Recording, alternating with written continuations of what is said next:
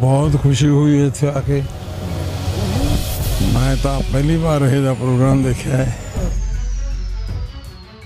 ਪ੍ਰਦੂਸ਼ਣ ਵਾਲੇ ਦਿਨ ਹੁੰਦੇ ਨੇ ਉਹਦੇ ਵਿੱਚ ਬੱਚਿਆਂ ਨੂੰ ਇੱਕ ਚੰਗੀ ਸਿੱਖ ਦਿੱਤੀ ਹੈ। ਡਿਫਰੈਂਟ ਕਾਨਵੈਂਟ ਸਕੂਲ ਨੇ ਕਰਵਾਇਆ ਸਾਲਾਨਾ ਸਮਾਗਮ। ਸਕੂਲ ਸਟਾਫ ਅਤੇ ਸਕੂਲੀ ਬੱਚਿਆਂ ਨੇ ਦੀਵਾਲੀ ਪ੍ਰਦੂਸ਼ਿਤ ਰਹਿਤ ਮਨਾਉਣ ਦਾ ਲਿਆ ਪ੍ਰਣ। ਦੱਸ ਦਈਏ ਕਿ ਸੰਗਤ ਮੰਡੀ ਅਧੀਨ ਬਠਿੰਡਾ ਬਾਦਲ ਰੋਡ ਤੇ ਪੈਂਦੇ ਪਿੰਡ ਘੁੱਦਾ ਵਿਖੇ ਚੱਲ ਰਹੇ ਡਿਫਰੈਂਟ ਕਾਨਵੈਂਟ ਸਕੂਲ ਦੇ ਵਿਹੜੇ ਵਿੱਚ ਸਾਲਾਨਾ ਸਮਾਗਮ ਕਰਵਾਇਆ ਗਿਆ, ਜਿਸ ਵਿੱਚ ਕਿ ਮੁੱਖ ਮਹਿਮਾਨ ਦੇ ਤੌਰ ਤੇ ਡੇਰਾ ਟੱਪ ਤੋਂ ਮਹੰਤ ਸਰੂਪਾਨੰਦ ਜੀ ਅਤੇ ਨਿਰਾਲੇ ਬਾਬਾ ਜੀ ਅਤੇ ਹਲਕਾ ਬਠਿੰਡਾ ਦਿਹਾਤੀ ਦੇ ਵਿਧਾਇਕ ਅਮਿਤ ਰਤਨ ਕੋਟਪੱਤਾ ਵਿਸ਼ੇਸ਼ ਤੌਰ ਤੇ ਪਹੁੰਚੇ।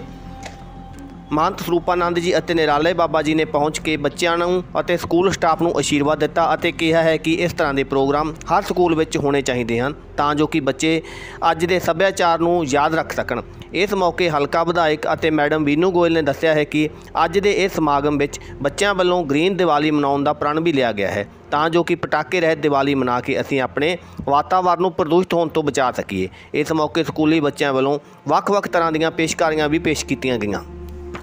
ਡਿਫਰੈਂਟ ਪਬਲਿਕ ਸਕੂਲ ਜਿਹੜਾ ਇਹ ਪ੍ਰੋਗਰਾਮ ਕਰਾ ਰਿਹਾ ਵੀਨੂ ਮੈਡਮ ਬਹੁਤ ਵਧੀਆ ਤਰੀਕੇ ਨਾਲ ਇਹਨੂੰ ਆਰਗੇਨਾਈਜ਼ ਕੀਤਾ ਔਰ ਬੱਚਿਆਂ ਵਾਸਤੇ ਬੜਾ ਅੱਛਾ ਮੈਸੇਜ ਗ੍ਰੀਨ ਦੀਵਾਲੀ ਦਾ ਮੈਸੇਜ ਔਰ ਆਉਣ ਵਾਲੇ ਕੁਝ ਦਿਨ ਜਿਹੜੇ ਬਹੁਤ ਪ੍ਰਦੂਸ਼ਣ ਵਾਲੇ ਦਿਨ ਹੁੰਦੇ ਨੇ, ਉਹਦੇ ਵਿੱਚ ਬੱਚਿਆਂ ਨੂੰ ਇੱਕ ਚੰਗੀ ਸਿੱਖ ਦਿੱਤੀ ਹੈ ਔਰ ਇਹੋ ਜਿਹੇ ਪ੍ਰੋਗਰਾਮ ਅਕਸਰ ਕਰਾਉਂਦੇ ਰਹਿੰਦੇ ਨੇ ਔਰ ਕਰਾਉਂਦੇ ਰਹਿਣੇ ਚਾਹੀਦੇ ਆ ਤਾਂ ਕਿ ਬੱਚਿਆਂ ਨੂੰ ਪੇਰੈਂਟਸ ਨੂੰ ਸਾਰਿਆਂ ਨੂੰ ਇਕੱਠਿਆ ਕਰਕੇ ਤੇ ਚੰਗਾ ਇੱਕ ਮੈਸੇਜ ਦਿੱਤਾ ਜਾ ਸਕੇ। ਦੀਵਾਲੀ ਤੇ ਕੀ ਮੈਸੇਜ ਦੇਣਾ ਚਾਹੋਗੇ? ਗ੍ਰੀਨ ਦੀਵਾਲੀ ਬਣਾਈ ਜਾਵੇ।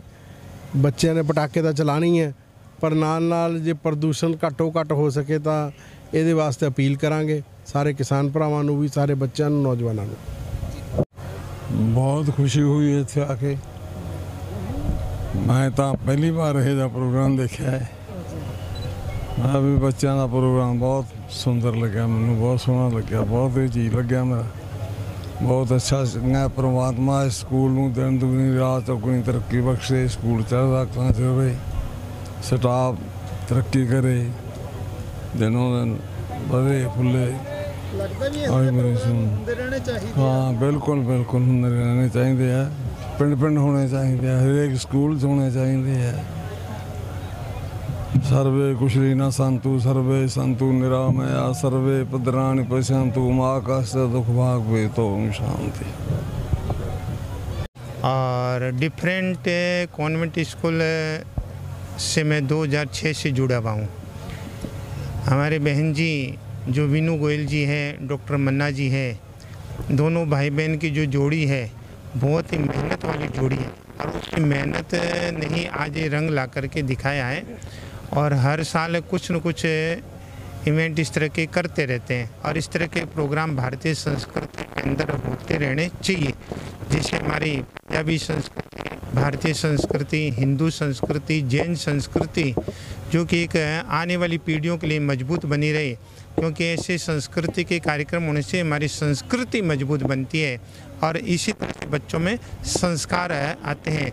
और ऐसे संस्कारों को ही और आगे बढ़ाने के लिए विनू गोयल ने, डॉक्टर मन्ना जी ने हमारे जैसे जैन संतों को भी बुलाया है, हमारे स्वामी श्री स्वरूपानंद जी को बुलाया है राजनीति और धर्म नीति दोनों को इकट्ठा करके इस तरह का एक कार्यक्रम जो पेश किया है तय दिल से इनका साधुवाद भी है और इसी तरह से इनके लिए मंगल आशीर्वाद भी है कि इसी तरह से ये आगे से आगे तरक्की करते रहे और ये स्कूल दिन दूनी रात चौगुनी और भी आगे बढ़े ऐसी मंगल शुभकामनाएं इस स्कूल के लिए ਡਿਫਰੈਂਟ ਕਨਵੈਂਟ ਸਕੂਲ ਤੋਂ ਸੀ ਪੈਟਰਨ ਔਰ ਇਥੋਂ ਦੇ ਪ੍ਰਿੰਸੀਪਲ ਨਰੇਸ਼ ਜੀ ਔਰ ਚੇਅਰਮੈਨ ਐਮ ਕੇ ਬੰਨਾ ਜੀ ਸਾਰਿਆਂ ਨੂੰ ਬਹੁਤ-ਬਹੁਤ ਵਧਾਈਆਂ ਔਰ ਖਾਸ ਕਰਕੇ ਬੱਚਿਆਂ ਦੇ ਮਾਪਿਆਂ ਨੂੰ, ਬੱਚਿਆਂ ਨੂੰ, ਜਿਨ੍ਹਾਂ ਨੇ ਇੰਨਾ ਅੱਛਾ ਐਫਰਟ ਕੀਤਾ ਔਰ ਸਾਲਾਨਾ ਸਮਾਗਮ ਸਕੂਲ ਦਾ ਪਿੰਡ ਕੋਦਾ ਦੇ ਵਿੜੇ ਵਿੱਚ ਹੋਇਆ।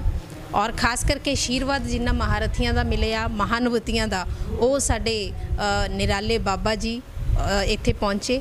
ਔਰ ਉਹਨਾਂ ਦੇ ਨਾਲ ਹੀ ਡੇਰਾ ਟੱਪ ਵਾਲੇ ਮਹੰਤ ਸਰੂਪਾਨੰਦ ਜੀ ਦਾ ਵੀ ਆਸ਼ੀਰਵਾਦ ਮਿਲਿਆ। ਇੱਥੋਂ ਦੇ ਬਠਿੰਡਾ ਰੂਰਲ ਦੇ ਜੋ ਐਮਐਲਏ ਨੇ ਅਮਿਤ ਰਤਨ ਜੀ ਵੀ ਇੱਥੇ ਪਹੁੰਚੇ ਔਰ ਬੱਚਿਆਂ ਨੂੰ ਆਪਣਾ ਆਸ਼ੀਰਵਾਦ ਦਿੱਤਾ ਔਰ ਖਾਸ ਕਰਕੇ ਇਸ ਪ੍ਰੋਗਰਾਮ 'ਚ ਜਿਹੜੀ ਵੱਖਰੀ ਗੱਲ ਕਿ ਜਿਹੜੇ ਬੱਚੇ ਹੈ ਚਾਹੇ ਕਨਵੈਂਟ ਸਕੂਲ ਇਹ ਮੈਂ ਸਿਰਫ ਇਸ ਡਿਫਰੈਂਟ ਕਨਵੈਂਟ ਸਕੂਲ ਦੀ ਨਹੀਂ ਗੱਲ ਕਰ ਰਹੀ ਚਾਹੇ ਜਿੱਥੇ ਮਰਜ਼ੀ ਕਨਵੈਂਟ ਸਕੂਲ ਹੈ ਸਾਡਾ ਜਦੋਂ ਅਸੀਂ ਭਾਰਤ ਆਜ਼ਾਦ ਹੋਇਆ ਤਾਂ ਅਸੀਂ ਜਦੋਂ ਕਨਵੈਂਟ ਸਕੂਲ ਜਾਂ ਇੰਗਲਿਸ਼ ਸਕੂਲ ਜਿਹੜਾ ਹੌਲੀ ਹੌਲੀ ਜਿਹੜਾ ਪੈਟਰਨ ਬਦਲਿਆ ਵੀ ਇੰਗਲਿਸ਼ ਮੀਡੀਅਮ ਹੋਇਆ ਉਹਦਾ ਮੋਟਿਵ ਇਹ ਨਹੀਂ ਸੀ ਕਿ ਅਸੀਂ ਵੈਸਟਰਨ ਕਲਚਰ ਅਪਣਾਉਣਾ ਹੈ ਉਹਦਾ ਮਤਲਬ ਸਿਰਫ ਇੰਨਾ ਸੀਗਾ ਕਿ ਅਸੀਂ ਗਲੋਬਲਾਈਜੇਸ਼ਨ ਦੇ ਵਿੱਚ ਐਂਟਰ ਕਰਨਾ ਹੈ, ਅਸੀਂ ਪੂਰੇ ਵਰਲਡ ਨੂੰ ਜਾਣਨਾ ਹੈ, ਅਸੀਂ ਵਰਲਡ ਦੇ ਕੰਪੀਟੀਸ਼ਨ ਦੇ ਵਿੱਚ ਉਤਰਨਾ ਹੈ ਔਰ ਪੰਜਾਬ ਨੂੰ ਔਰ ਇੰਡੀਆ ਨੂੰ ਸਭ ਤੋਂ ਉੱਪਰ ਲੈ ਕੇ ਜਾਣਾ। ਤਾਂ ਇਸ ਲਈ ਲੇਕਿਨ ਇਹਦੀ ਜਿਹੜੀ ਅੱਜ ਦੀ ਪੀੜ੍ਹੀ ਹੈ, ਇਹਦਾ ਕੁਝ ਹੋਰ ਮਤਲਬ ਸਮਝ ਬੈਠੀ। ਤਾਂ ਇਸ ਤਰ੍ਹਾਂ ਦਾ ਸੁਨੇਹਾ ਦਿੰਦਾ ਹੋਇਆ ਇਹ ਫੰਕਸ਼ਨ ਜਿਹਦਾ ਨਾਮ ਹੈ ਅਸਤਿਤਵ ਇੱਕ ਪਹੁੰਚਾ ਇੱਕ ਪਹਿਚਾਨ। ਯਾਨੀ ਕਿ ਆਪਣਾ ਅਸਤਿਤਵ ਅਸੀਂ ਬਣਾ ਕੇ ਰੱਖਣਾ ਹੈ, ਇਹਨੂੰ ਨਹੀਂ ਖੋਣਾ। ਸਿੱਖਣਾ ਸੀ ਬਹੁਤ ਕੁਝ ਹੈ, ਲੇਕਿਨ ਅੜ ਕੇ ਰਹਿਣਾ ਹੁਣ ਜਿਵੇਂ ਗੱਲ ਹੋ ਰਹੀ ਸੀ ਦੀਵਾਲੀ ਮਨਾਉਣ ਦੀ, ਤਾਂ ਜਿਵੇਂ ਜਿਵੇਂ ਸਮਾਂ ਬਦਲਦਾ ਤਾਂ ਤਿਉਹਾਰਾਂ ਨੂੰ ਜਿਹੜੇ ਮਨਾਉਣ ਦੇ ਕੁਝ ਕਹਿੰਦੇ ਹੁੰਦੇ ਆ ਕਿ ਪਰਿਵਰਤਨ ਸੰਸਾਰ ਦਾ ਨਿਯਮ ਹੈ, ਤਾਂ ਕੁਝ ਨਿਯਮ ਵੀ ਬਦਲਨੇ ਬਹੁਤ ਜ਼ਰੂਰੀ ਹੈ, ਕਿਉਂਕਿ ਅਸੀਂ ਦੇਖ ਰਹੇ ਹਾਂ ਕਿ ਅੱਜ ਕੱਲ ਪੋਲੂਸ਼ਨ ਬਹੁਤ ਜ਼ਿਆਦਾ ਹੋ ਰਿਹਾ ਹੈ। ਟੈਕਨੋਲੋਜੀ ਦੇ ਨਾਲ ਟਰਾਂਸਪੋਰਟੇਸ਼ਨ ਵੱਧ ਗਈ ਹੈ, ਧੂਆਂ ਬਹੁਤ ਉੱਠ ਰਿਹਾ ਹੈ, ਨਵੀਆਂ ਨਵੀਆਂ ਟੈਕਨੀਕਸ ਆ ਗਈਆਂ, ਹਰ ਤਰ੍ਹਾਂ ਦਾ ਪੋਲੂਸ਼ਨ ਹੋ ਰਿਹਾ ਤਾਂ ਜ਼ਰੂਰੀ ਹੈ ਕਿ ਇਸ ਪਰਿਵਰਤਨ ਦੇ ਨਾਲ ਨਾਲ ਅਸੀਂ ਵੀ ਕੁਝ ਸਮੱਸਿਆਵਾਂ ਦਾ ਹੱਲ ਲੱਭਦੇ ਹੋਏ ਇਸ ਦੀਵਾਲੀ ਨੂੰ ਧੂਆਂ ਜਿਹੜਾ ਘਟਾਈਏ ਔਰ ਦੀਵਾਲੀ ਹੈ ਜਿਹੜੀ, ਉਹ ਗ੍ਰੀਨ ਬਣਾਈਏ। ਇਸ ਕਰਕੇ ਬੱਚੇ ਅੱਜ ਇਸ ਗੱਲ ਦਾ ਵੀ ਇਸ ਸਾਲਾਨਾ ਸਮਾਗਮ ਵਿੱਚ ਸੁਨੇਹਾ ਦੇ ਰਹੇ ਨੇ। ਬਾਕੀ ਸੈਂਟਰ ਯੂਨੀਵਰਸਿਟੀ ਤੋਂ ਬਹੁਤ ਹੀ ਸੀਨੀਅਰ ਸਾਡੇ ਮਿਸਟਰ ਪਠਾਨੀਆ ਜੀ ਜੋ ਕਿ ਵਾਈਸ ਚਾਂਸਲਰ ਜੀ ਦੇ ਬਿਹਾਫ ਤੇ ਪਹੁੰਚੇ ਨੇ। ਐਸਐਚਓ ਨੰਦਗੜ੍ਹ ਜੀ ਨੇ ਬਹੁਤ ਅੱਛੇ ਇੰਤਜ਼ਾਮ ਕੀਤੇ ਨੇ ਸੇਫਟੀ ਦੇ। ਉਹਨਾਂ ਦਾ ਵੀ ਬਹੁਤ ਬਹੁਤ ਧੰਨਵਾਦ।